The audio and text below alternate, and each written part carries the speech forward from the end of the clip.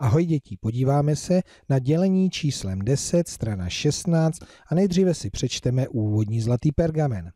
Dělení deseti může také znamenat, kolik skupin po deseti můžeme z daného počtu vytvořit. Podíváme se na první cvičení, přečteme si zadání, vypočítejte. Tak co pak mám počítat? 100 děleno 10.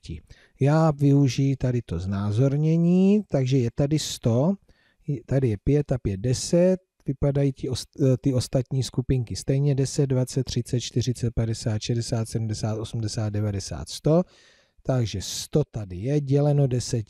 Takže po 10 1, 2, 3, 4, 5, 6, 7, 8, 9, 10. Ano, 100 děleno 10 rovná se 10 protože je tady 10 skupinek po 10, 10 krát 10 rovná se 100.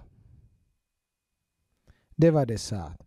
Tak uberu 10, takhle, děleno 10, no a mám tady 3, 6, 9 skupinek. 90 děleno 10 rovná se 9 protože 9, 1, 2, 3, 4, 5, 6, 7, 8, 9 krát 10 rovná se 90.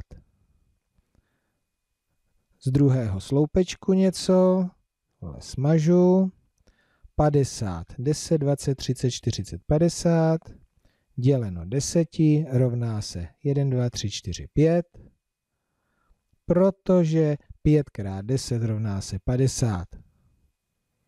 40 děleno 10 rovná se 4, protože 4 krát 10 rovná se 40. Tohle je dost jednoduché, asi chápete, takže se do toho dejte sami.